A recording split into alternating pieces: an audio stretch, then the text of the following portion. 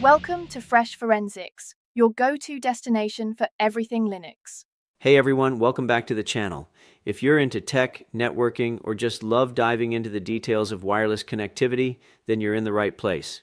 Today we're talking about ad hoc mode on a Wi Fi adapter, one of the most interesting and useful ways to set up a wireless network without the need for a traditional router. And trust me, whether you're a beginner or a seasoned network pro, understanding ad hoc mode will totally change the way you think about Wi Fi. First, let's answer the question what exactly is ad hoc mode? What exactly is ad hoc mode? In the simplest terms, it's a wireless mode that lets devices communicate directly with each other without needing a router or access point. That's right. Instead of relying on a central device like a router, ad hoc mode allows devices to form a peer to peer network. It's a device to device connection.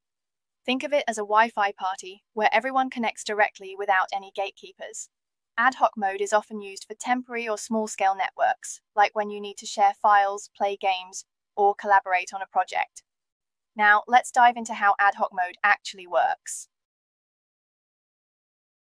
Typically, when you connect to Wi Fi, your device acts as a station, the client, connecting to a central device, usually a router. But in ad hoc mode, both devices act as stations that communicate directly with each other. Once both devices are in ad hoc mode, they create a wireless network using a specific SSID, the name of the network, and they can begin sending data back and forth. No need for a router or even an internet connection. It's all about direct device communication. So, why would you want to use ad hoc mode? Well, there are a few really cool use cases where this comes in handy. First up, file sharing. Let's say you need to transfer large files between two laptops. Instead of using USB drives or complicated software, you can set up an ad hoc network. And boom, instant direct connection for fast local file transfers. Ad hoc mode is also great for local multiplayer gaming. Want to play a game with friends but no Wi Fi router around? Ad hoc mode lets your devices connect directly without needing an internet connection or a router.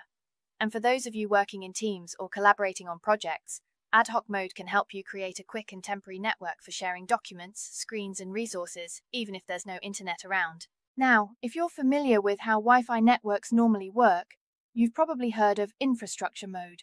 So, what's the difference between ad hoc and infrastructure mode? In infrastructure mode, devices connect through a central router or access point. This is what most of us use in our homes or offices to get online. But in ad hoc mode, there's no central router devices connect directly to each other. It's a more decentralized and temporary solution. To put it simply, infrastructure mode is your go to for long term or internet connected networks, while ad hoc mode is perfect for quick, direct device communication. First, open up your terminal and check your Wi Fi adapters with the iwconfig command to make sure both your devices are recognized. Then, Use the IW tool to switch one of the adapters into ad hoc mode. Every command that I run on this machine, I am also going to be running on my other Linux machine, which is running Kali Linux. I will not be showing you the commands that I run on the Kali Linux machine as they are the same exact commands that I am running on this machine. There's only one difference and that comes to the IP address you do have to specify a different IP address for each machine under the same net mask. Also, it is important to note that on both of these Linux machines that I am using, I am using Alfa external Wi-Fi adapters on each one. However, the commands that I am demonstrating for you, you should be able to use these same commands on pretty much any Wi Fi adapter, regardless of the manufacturer of that adapter. The first thing that I'm going to do is verify that the adapter that I'm using does in fact support ad hoc mode. I do that by running the command IW list. And if I scroll back up near the beginning of the output, I'm looking for a section that is titled Supported Interface Modes. This is the section right here. And underneath Supported Interface Modes, we have up to eight different modes that you can enable on your Wi-Fi adapter.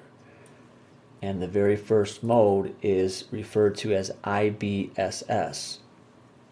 IBSS stands for Independent Basic Service Set, and this is essentially another name for ad hoc mode. So if you see IBSS under supported interface modes, you know that your adapter is able to support ad hoc mode. Next thing that I'm going to do is stop network manager. I'll do that by running the command sudo service network manager stop. Next thing I'm going to do is bring my interface down and in order to know which interface I am bringing down I will once again run the iwconfig command and the interface that I am using to do this is specified rate here AWUS036ACHM So to bring the interface down, I'll run the command sudo ip link set followed by the name of the interface and down.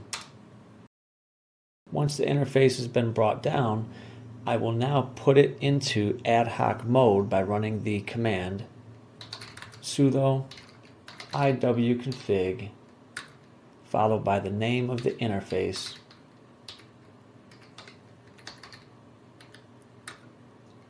mode add dash hoc.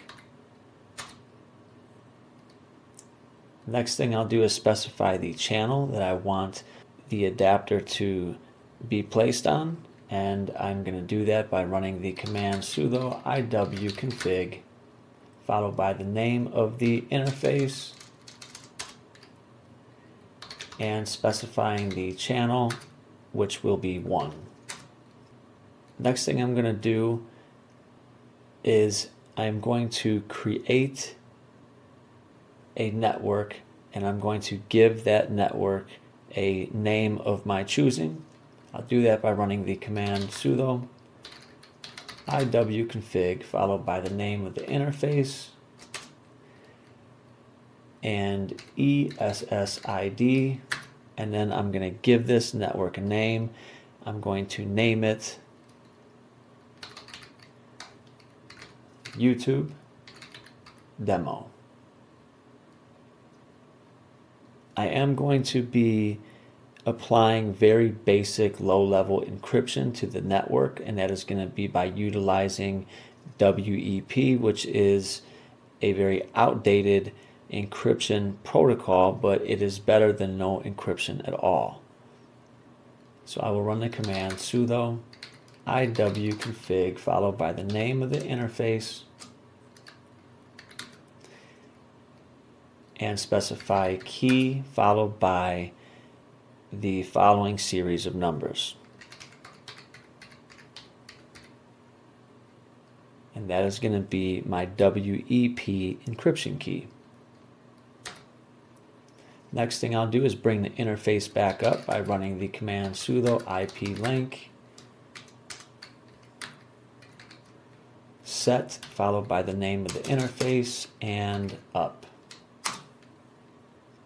And now that the interface has been brought up, we should be able to see the interface by running the ifconfig command.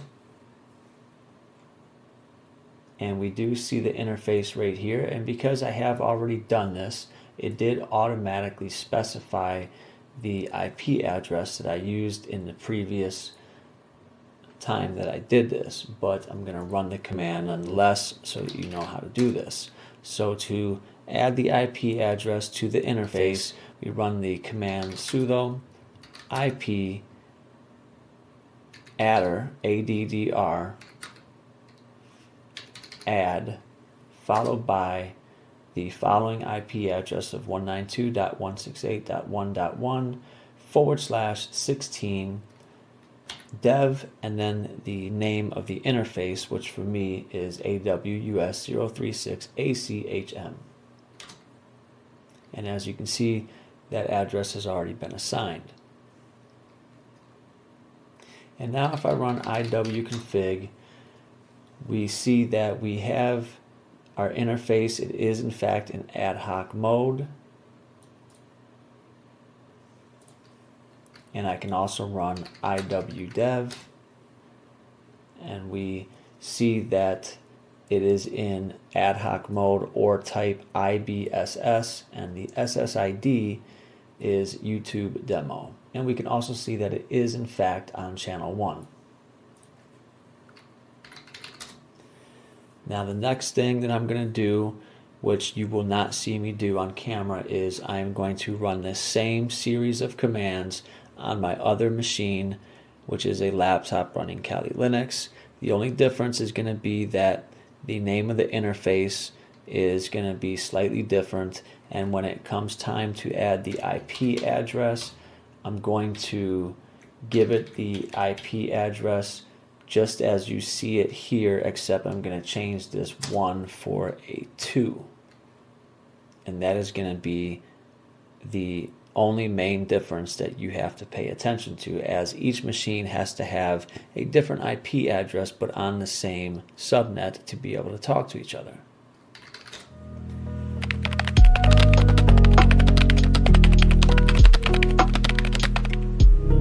Okay, so I have finished running all of the commands on my Kali Linux machine. Another thing that you're going to want to do is make sure that if you are running a VPN that you have your VPN disconnected I am typically running a Mullvad VPN server, so I'll just very quickly check the status of that to make sure that it is not connected because that will interfere with you being able to connect these machines together in ad hoc mode if your VPN is active and running. So if I run ifconfig I see that I have this IP address that I assigned to this particular machine of 192.168.1.1 and the IP address that I assigned to the Kali machine is going to be 192.168.1.2. So I should now be able to ping that machine from my Ubuntu machine. And if I ran every one of the commands successfully, we will have connectivity between the two machines. So if I hit enter, you do see that the ICMP requests are in fact being sent and received. If I do a control C, uh, we sent nine packets and received nine packets with 0% packet loss. So I have successfully connected both machines to one another using Alfa external Wi-Fi adapters that have both been placed in ad hoc mode. Neither one of these machines is connected to the internet and neither one of these machines is connected to any router. This is a peer-to-peer decentralized network that I have created between these two machines and I have even been able to apply a basic form of low-level encryption. So now that both the machines have been connected to one another, let's go ahead and test out whether we can SSH into the other machine. So let me first determine if I have SSH up and running on this machine. I'll do that by running the command sudo service SSH status. And I do not currently have it running, so I'll go ahead and start that up and make sure that I have it started on the other machine as well. And with SSH running on both machines, I need to know the username of the Kali machine and the, the, username is fresh. And the other thing I'm going to need to know is the IP address of the other machine. Uh, so with those two things, I can go ahead and run the following command, ssh username is fresh and I'll do the at followed by the IP address of the other machine which is 192.168.1.2 and hit enter and it asks me for the password that is the login password of the Kali Linux machine with the user fresh and I am now logged in to the Kali Linux machine under the user fresh over an ad hoc network that I created with two Alfa external Wi-Fi adapters. You can see that we are logged in as fresh. The terminal prompt has changed to let us know that we are remotely connected to the other machine and I can verify that a couple of different ways. Um, I can run uh, who am I and you'll see that I am user fresh and I can also cat out the contents of the OS release file and you'll see that this is Kali Linux version uh, 2024.4. If I open up another terminal,